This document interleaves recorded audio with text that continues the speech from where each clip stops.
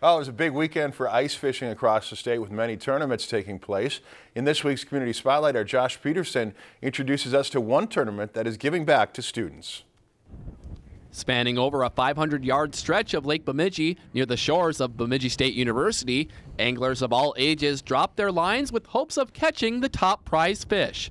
The Beaver Freeze Ice Fishing Tournament is only in its second year and already exceeded expectations. We grew from last year, so that was our main goal.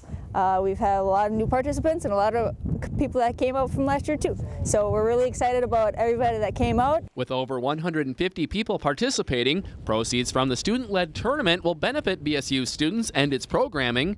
A new partnership with Reed Sporting Goods was also formed as a way to boost the overall experience and provide new opportunities.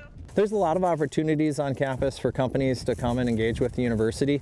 Uh, this, like I said, we're always looking for authentic fits for all of our corporate partners, so we want it to be uh, a two-way street. We want it to be win-win for the partners to come. While the tournament provides a chance for Reeds to showcase some of their products, the sporting goods retailer hopes to use the event as a way to recruit some new employees. Great for the you know the students and you know alumni that come here because you know a lot of you know these people are um, you know into fishing and the outdoors and you know a sporting goods store and a, a, resort is a great way to you know make that connection. While Reeds was looking to hook some new employees, many sat inside the comfort of a pop-up fish house or braved the elements outside in hopes to hook the prize-winning fish. For Doug Bachlan, he hopes his five-pound walleye earned him the top spot.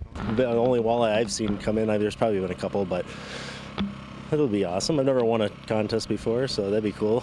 With the tournament and overall success, students are already planning for next year and hopes the event will continue to grow. Going forward next year, we're really looking at expanding, of course, and we're really looking at how to increase participation, how to get BSU kids out on the ice. We really want to we really want to give back to the students, so it's all about what they want to see. With this week's Community Spotlight in Bemidji, Josh Peterson, Lakeland News. If you enjoyed this segment of Lakeland News, please consider making a tax-deductible contribution to Lakeland PBS.